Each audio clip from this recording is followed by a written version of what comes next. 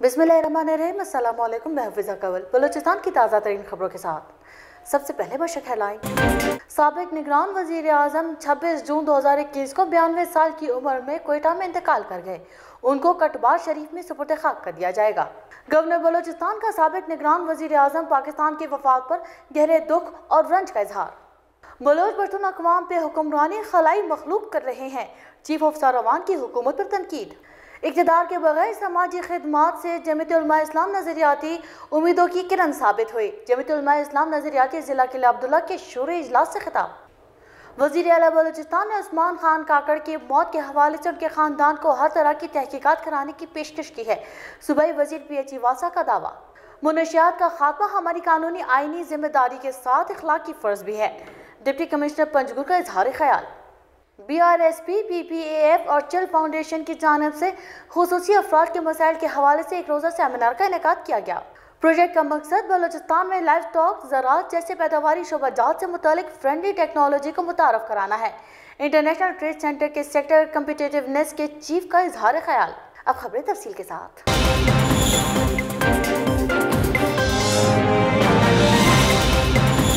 سابق نگران وزیر اعظم میر ہزار خان کھوسا چھبیس جون دو ہزار اکیس کو بیانوے سال کی عمر میں کوئٹہ میں انتقال کر گئے۔ سابق نگران وزیر اعظم جسٹس ریٹائر میر ہزار خان کھوسا تیس ستمبر انیس سو انتیس کو موجودہ ضلع زوبت پور کے گوٹ میر اعظم کھوسا میر اعظم خان کھوسا۔ سابق نگران وزیر اعظم میر ہزار خان کھوسا چھبیس جون دو ہزار اکیس کو بیانوے سال کی عمر میں کوئٹہ میں انتقال کر گئے۔ سابق نگران وزیر اعظم جسٹس ریٹائر میر ہزار خان کھوسا تیس ستمبر انیس سو انتیس کو موجودہ ضلع صوبت پور کے گوٹھ میر اعظم خان کھوسا میں پیدا ہوئے تھے۔ ان کی مادری زبان سندھی تھی۔ سابق وزیر اعظم میر ظفر اللہ خان جمالی کے بعد بلوچستان سے وزیر اعظم کے منصب پر فائز ہونے والی دوسری شخصیت تھے۔ انہوں نے ابتدائی تعلیم کے حصول کے بعد اعلیٰ تعلیم کراچی یونیورسٹی سے حاصل کی۔ انیس سو ستاون میں کراچی میں بحیثیت وکیل اپنے کیریئر کا آغاز کیا۔ بعد ازاں سپریم کورٹ کے وکیل بنے۔ انیس سو ستتر میں بلوچستان ہائی کورٹ کے جج مقرر ہوئے۔ انیس سو اناسی میں بلوچستان ہائی کورٹ کے چیف جسٹس بنے۔ ریٹائرمنٹ کے بعد انیس سو اکانوے میں وفاقی شرعی عدالت کے چیف۔ ریٹائرمنٹ کے بعد انیس سو اکانوے میں وفاقی شرعی عدالت کے چیف جسٹس مقرر کیے گئے۔ میر ہزار خان کھوسا دو مرتبہ بلوچستان کے نگران گورنر مقرر ہوئے۔ پہلی بار پچیس جون انیس سو نوے اور دوسری بار تیرہ مارچ۔ وہ زکاة کونسل کے چیئرمین کے عہدے پر بھی فائز رہے۔ چوبیس مارچ دو ہزار تیرہ کو چیف الیکشن کمشنر پاکستان فخر الدین جی ابراہیم نے ان کو پاکستان کا نگران وزیر اعظم بنانے کا اعلان کیا۔ پچیس مارچ دو ہزار تیرہ کو صدر مملکت آصف علی زرداری نے ایوان صدر اسلام آباد میں ان سے نگران وزیر اعظم کا حلف لیا۔ اس دوران انہوں نے اپنے آبائی تحصیل صوبت پور کو ضلع جعفر آباد سے الگ کر کے صوبت پور کو ضلع کا درجہ دے کر شرکی جعفر آباد کے عوام کا دیرانہ مطالبہ پورا کر دیا۔ ان کے پسماندگان میں تین بیٹے شفقت حسین کھوسا، برکت حسین کھوسا اور ایڈوکیٹ امجد حسین کھوسا ہیں۔ ان کو کٹبار شریف میں سپرد خاک کر دیا جائے گا۔ گورنر بلوچستان امان اللہ خان یاسین زین سابق نگران وزیر اعظم پاکستان جسٹس ریٹائرڈ میر ہزار خان کھوسا کی وفات پر گہرے رنج و دکھ کا اظہار کیا ہے۔ اپنے ایک تعزیتی بیان میں انہوں نے کہا کہ مرحوم جسٹس ریٹائرڈ میر ہزار خان کھوسا کی خدمات کو دیر تک یاد رکھا جائے گا۔ گورنر بلوچستان نے مرحوم کے درجات کی بلندی کے لیے دعا کیا اور سوگواران نے خاندان سے تعزیت اور ہمدردی کا اظہار کیا۔ چیف آف ساروان سابق وزیر اعلیٰ بلوچستان، رکن بلوچستان اسمبلی نواب اسلم ریسانی نے کہا ہے کہ حکومت کو بھی بجٹ کا نہیں پتا تھا اور کابینہ نے بھی بجٹ نہیں دیکھا تھا۔ اس سے ثابت ہوا کہ بلوچ پشتون اقوام پہ حکمرانی خلائی مخلوق کر رہے ہیں۔ ان خیالات کا اظہار سماجی رابطے کی ویب سائٹ ٹویٹر پر اپنے پیغام نواب اسلم ریسانی نے کیا۔ انہوں نے کہا کہ کمال قمیض پھاڑ کے رومال وزیر اعلیٰ حالیہ وزیر اعلیٰ جام کمال خان حالیہ بجٹ کے بابت فرماتے ہیں کہ حکومت بلوچستان کو بھی بجٹ کا نہیں پتا تھا۔ ہماری کابینہ نے بھی بجٹ نہیں دیکھا تھا۔ اس سے ثابت ہوا کہ بلوچ پرتن اقوام پہ حکمرانی خلائی مخلوق کر رہے ہیں۔ جمیت علماء اسلام نظریاتی جمیت علماء اسلام نظریاتی ضلع قلعہ عبداللہ کے شوری اجلاس سے ضلعی انتظامیہ امیر مولانا حافظ عبدالواحد ہاشمی اور دیگر نے خطاب کرتے ہوئے کہا کہ ورکرز کی سوچ، گفتار و کردار اور نظم العین رضا الہی کا حصول اور فلاح اخروی ہونا چاہیے۔ مخلصانہ کوشش تقاضۂ ایمانی اور جماعت کی بقا کی ضمانت ہے اور بنیادی اصولوں اور طے شدہ نظم العین سے انحراف تباہی ہے۔ ورکرز جماعت کی فعالیت اور جماعت کا پیغام عام کرنے کے لیے عملی کوشش کریں۔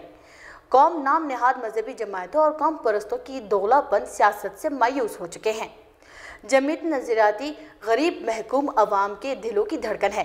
جماعتی ڈھانچے کو مزید مضبوط بنانے کے لیے تنظیمی اور جماعتی اصولوں کی پاسداری اولین ذمہ داری ہے اور کارکنوں پر بھاری ذمہ داریاں عائد ہوتی ہیں کہ وہ بحیثیت سیاسی کارکن عوام کی فلاح بہبود کے لیے خدمات میں صف اول کا کردار ادا کریں۔ اقتدار کے بغیر سماجی خدمات سے جمعیت علماء اسلام نظریاتی امیدوں کی کرن ثابت ہوئی ہے۔ صوبائی وزیر پی ایچ واسا حاجی نور محمد خان دمر نے کہا ہے کہ صوبے کی پسماندگی اور عوام کے احساس محرومی کو دور کرنے کے لیے محنت اور خلوص نیت سے صوبائی حکومت کام کر رہی ہے۔ حکومت ترقی کے عمل کو جاری رکھنے کے لیے تمام وسائل بروئے کار لا رہی ہے۔ حکومت بلوچستان اور وزیر اعلیٰ بلوچستان نے عثمان خان کاکڑ کی موت کے حوالے سے ان کے خاندان کو ہر طرح کی تحقیقات کرانے کی پیشکش کی ہے۔ عثمان خان کاکڑ نے ہمیشہ صوبے کے حقوق کے حصول کے لیے جد و جہد کی ہے، جن کی وفات سے صوبہ ایک نڈر، بے باک لیڈر سے محروم ہو گیا ہے۔ مرحوم عثمان خان کو ان کی خدمات پر خراج عقیدت پیش کرتے ہیں۔ ان خیالات کا اظہار انہوں نے رکن صوبائی اسمبلی پارلیمانی سیکرٹری صدار مسعود خان لونی اور دیگر ساتھیوں کے ہمراہ مسلم باغ سابق سینیٹر عثمان خان لالا کے گھر جا کر ان کی لواحقین سے تعزیت اور فاتح خوانی کی۔ اور شمس کاکڑ کے رہائش گاہ پر قبائلی معتبرین اور پارٹی رہنماؤں سے بات چیت کرتے ہوئے کیا۔ ڈپٹی کمشنر پنجگور عبدالرزاق ساسولی نے کہا ہے کہ منشیات نے آج پوری دنیا کو پریشان کر رکھا ہے۔ ہر ملک و قوم نے ان کے خاتمے کے لیے مل کر جد و جہد کرنی ہے۔ معاشرے میں رہنے والے ہر فرد کے ساتھ اداروں کی ذمہ داری ہے کہ وہ منشیات جیسے ناصور کو جڑ سے ختم کرنے کے لیے اپنے اخلاقی، قانونی آئینی رول ادا کریں۔ پنجور ایڈمنسٹریشن منشیات کے خاتمے کے لیے ہر ممکن کوشش کر رہی ہے۔ جہاں جہاں عوام نے تعاون کیا، ہم نے وہاں وہاں کارروائی کی ہے۔ ہمیں اپنے آنے والی نسل کو ہر قسم کی غیر قانونی معاشرتی برائیوں سے بچانا ہے۔ جس طرح گزشتہ دنوں پنجگور کی تحصیل پروم میں سول سوسائٹی نے تعاون کر کے ہمیں منشیات کے کاروبار کرنے والے سولہ کے نام دیے، ہم نے بارہ کو گرفتار کر کے ان کے منشیات کے اڈے بند کر دیے۔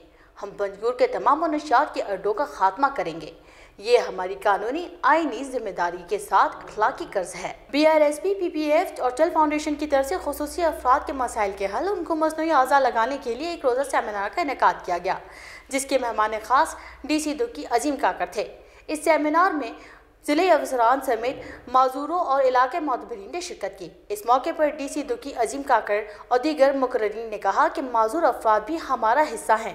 ان کو ہم کسی صورت اپنے سے الگ نہیں کر سکتے ہیں۔ ان کو اپنے پاؤں پر کھڑا کرنے کے لیے ہم سب کو کردار ادا کرنا ہوگا۔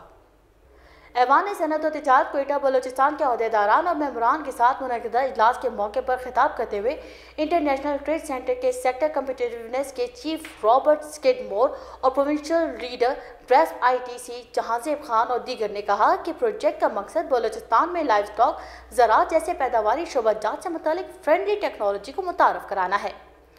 بلوچستان کے گلابانی اور زراعت سے وابستہ افراد کی ماڈل فارمنگ مویشی اور ڈیری فارمنگ کی ترقی سے متعلق تجاویز پر عمل درآمد کی ہر ممکن کوشش کی جائے گی۔ اب تک کے لیے اتنا ہی، مزید خبروں اور اپڈیٹس کے لیے وزٹ کیجیے ہماری ویب سائٹ ڈبلیو